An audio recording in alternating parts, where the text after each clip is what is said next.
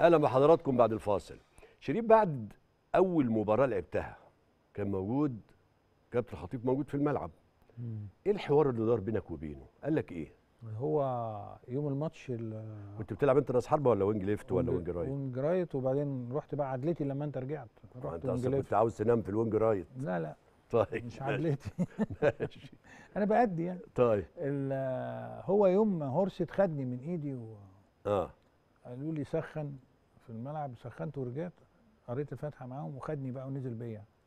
نزل بيك الملعب؟ نزل بيا الملعب. آه. ابتدى يطمني بقى. آه. ما تخافش إحنا موجودين وبتاع وإحنا عارفين انت لعيب كويس. هو من الناشئين كان بيجي دايما يديني إيه ملاحظات.